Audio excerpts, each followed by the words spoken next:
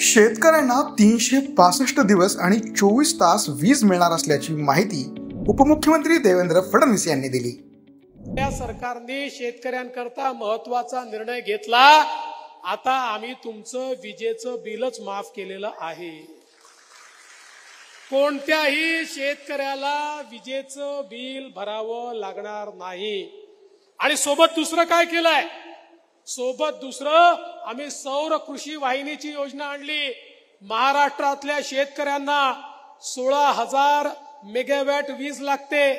त्यापैकी बारा हजार मेगावॅटचं त्या ठिकाणी आम्ही हरित ऊर्जीकरण किंवा सोलरमध्ये कन्वर्शन कन्व्हर्शन सुरू आहे जे दीड वर्षात पूर्ण होणार आहे. उलट चार हजाराचं आता काम अजून चालू करतोय. दोन वर्षानंतर शेतकऱ्यांच्या शेतात जाणाऱ्या विजेचा युनिट आणि युनिट हा सोलरचा असणार आहे. त्यामुळे शेतकऱ्यांना तीनशे पासष्ट दिवस दिवसा वीज आम्ही देऊ. त्यांना रात्रीच्या विजेची आवश्यकता पडणार नाही. म्हणजे विजेचं बिलही नाही आणि चोवीस तास तुम्हाला वीज त्या ठिकाणी देण्याचं काम आपलं महायुतीचं सरकार या ठिकाणी करताय.